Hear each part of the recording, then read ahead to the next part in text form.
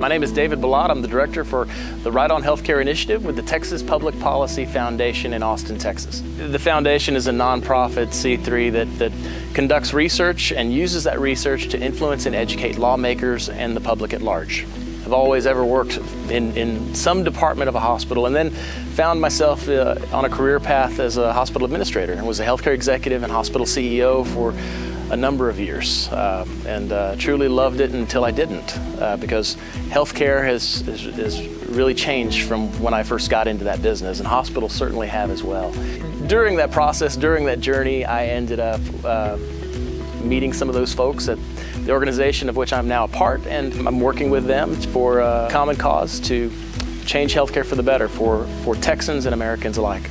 It's a great organization. Uh, Free Market Medical Association has been around for a while. They're teaching physicians and uh, advisors, people who are brokers, they're teaching uh, members of the community, employers, that healthcare doesn't have to be as bad as it is, that there is another way. And it's really opening the eyes uh, of those folks so that they can be brave enough to take the step and know that they're not alone because much of the fear comes from people not wanting to be the first at doing something. And so FMMA is, is creating a community that allows people to be brave and to do things that they wouldn't normally do on their own. Now, many people would say that our current system is irreparable. You know, at times I want to agree with them. But that doesn't mean that we don't stop and fight and, and uh, voice our opinion opposed to what that system currently is.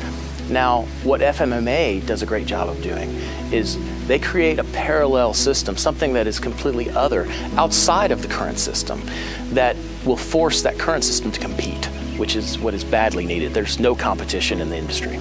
You know, the one thing that, that I, I hear from lawmakers is that they don't know what, what people believe or, or what they think. And they're relying on think tanks and they're relying on polls and they're relying on special interest groups. And the one thing that I would say uh, to everybody who's, who's watching this or listening to this is get involved, be engaged. You, you, you, abdicate your, your, your right to complain if you're not a part of the process to change things.